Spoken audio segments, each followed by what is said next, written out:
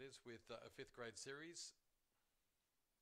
You get some standouts in some of the heats that uh, inevitably will find a heat a little bit easier than a race they've won the week prior. Miss San Cisco, a case in point here. Smart and classy looks to stand out in race number five, the third heat as well. Green light on, race number three. Miss San Cisco favourite. Ready, Racing, Miss San Cisco begins quickly off the two. There's speed out wide from Street Scandal and Classy Nebo, but Miss San Cisco held the lead. Rallying the fourth, Orson Ellison, Saron and Lost Digit. Getting back but making ground along the inside is Best Mate and Dodgy Mick last, but Miss San Cisco on the bunny again. Put six lengths on Classy Nebo. Checked at that point, Saron. Passed by Best Mate and well back in the field is Dodgy Mick. They swing. It's all Miss San Cisco. She's racing in great form and came away to win by five on the line. Second Classy Nebo Digit. Getting back but making ground along the inside is Best Mate and Dodgy Mick last, but Miss San Cisco on the bunny again. It's all Miss San Cisco.